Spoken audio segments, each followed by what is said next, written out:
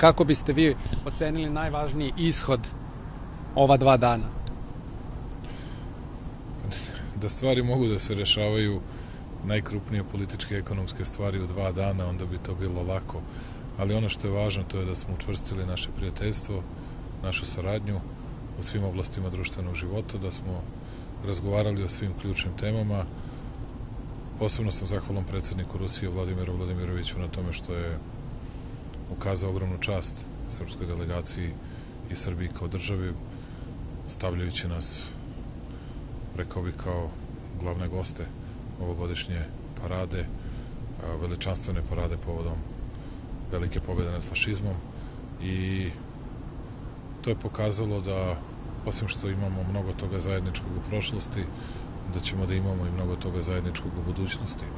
Razgovarali smo o Kosovu i Metohiji, dakle, mnogo, mnogo vremena proveli razgovarajući o Kosovu i Metohiji, analizirali sve postojeće dokumenta Ujedinjenih nacija, analizirali ponašanje svih aktera na svetskoj političkoj sceni, pre svega po tom pitanju, razgovarali o našoj ekonomskoj saradnji, saradnji u oblasti energetike, vojno-tehničkoj saradnji, razgovarali o poseti predsednika Putina Srbiji, očekujemo ga pre kraja godine, dakle ili u oktobru ili u novembru, zavisnosti i od njegovih obaveza i od naših datuma, on će posetiti našu zemlju, dakle, mislim da smo uspeli da jer Srb, uspeli smo da pokažemo još jedan put da je Srbija pouzdan partner, da je Srbija korektan partner, da Srbiji to ne traje jedan dan, dakle svi znaju i ovde i u Evropi i u svetu da je Srbija na evropskom putu, ali da kad Srbija kaže da neće da uvodi sankcije Ruskoj federaciji, da onda Srbija neće da uvodi sankcije Ruskoj federaciji.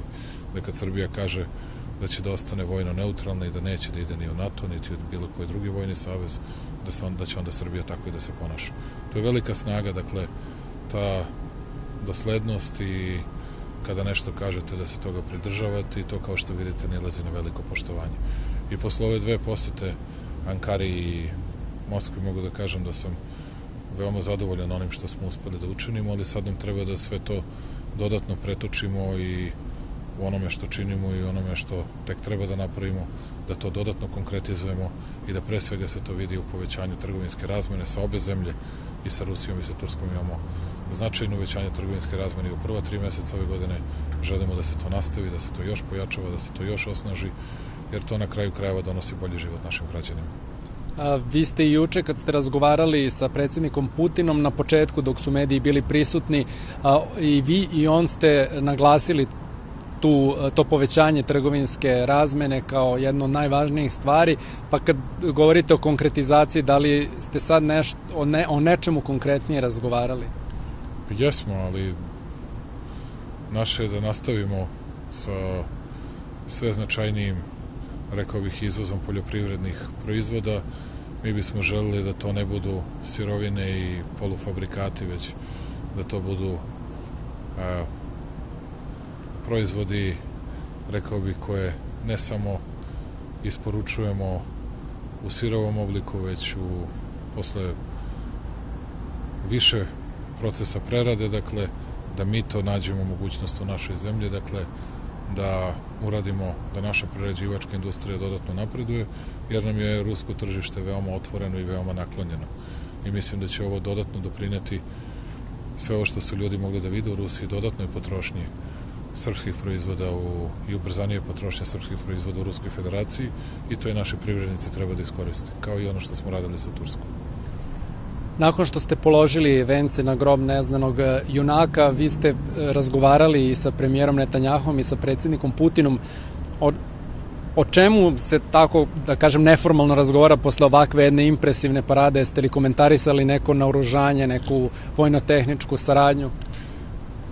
Premijer Netanjahu je govorio o novcu koji oni ulažu u vojsku, dakle, i to je, mi smo zemlja negde slične veličine po broju stanovnika i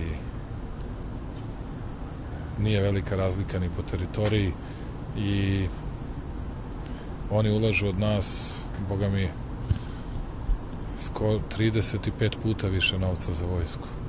I onda je Netanjahu rekao, blago tebi pa nemaš potrebu za tim. Ja sam rekao,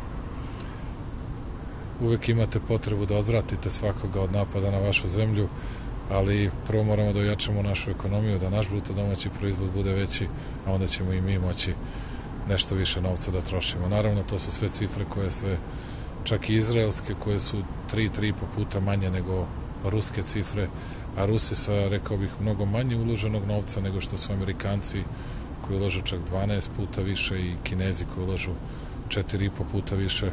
Rusi, zahvaljujući ceni radne snage svojim vanrednim naučnicima i vanrednim inženjerima, uspevaju da postignu i ulaganjem u strateške e, strateški važne grane vojne industrije, dakle, uspevaju da postižu, rekao bih, ne samo tu vrstu balansa, već i u pojedinim oblastima određenu prednost. Je li recimo, to je bila jedna od stvari o kojoj smo razgovarali. Je li... Kao i o novim ru ruskim mašinama, videli ste, predsednik Putin nas je prvi put vozio u njegovoj novoj limuzini, to je, to je nova ruska mašina, imaju četiri sedišta onako prelepo unutra, on je ranije rekao da je koristio Mercedes, ali kaže sada nema potrebe, pošto je ovo mnogo lepše i bolje od Mercedesa. I proizvedeno je u Rusiji. Proizvedeno je, proizvedeno je u Rusiji, da. A, Auris Senat ili tako nešto se zove, možda sam pogrešio neće se predsednik Putin ljutiti zbog toga, ali pokušao sam da zapamtim. Dobro, uh, rekli ste do kraja godine bi trebalo predsednik Putin da dođe. Može li se sad smatrati definitivno da s obzirom na broj susreta postoji kontinuirani dijalog na vrhu dve države? Apsolutno, pa i svaki put kada smo imali problem na Kosovu sa divljačkim upadom Albanaca na sever i prebijanje Marka Đurića u roku od 24 sati koji imao užasno tešku situaciju predsednik Putin, podsjetiću vas tek pošto je pobedio na izborima ima užasnu situaciju zbog no, tržnog centra u kojem je mnogo dece stradalo i poginulo u roku od 24 sata predsednik Putin se javio i mogli smo da razgovaramo o svemu. Tako da mi imamo dobru saradnju uvek i u svakom trenutku možemo da dođemo do predsednika Putina. Ja se trudim da ga ne zamaram previše i da ga ne ometam previše u obavljanju njegovih važnih dužnosti, ali kad god je potrebno, predsednik Putin je tu za Srbiju i ja sam mu na tome veoma, veoma zahvalan. Da li, e, konačno, da li e, pred svaku vašu posetu postoje spekulacije u Srbiji da će biti nekih teških i spornih tema poput statusa humanitarnog centra u Nišu, da li ima ikakvih teških priča između vas i predsednika Putina? Mi uvek razgovaramo otvoreno, razgovaramo iskreno i razgovaramo o svim temama. Za nas nema tabu tema.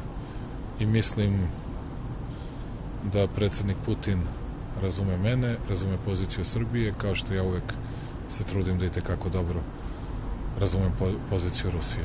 Mi smo prijatelji i u našim odnosima postoji poverenje i rekao bih, pouzdanost u drugog sagovornika.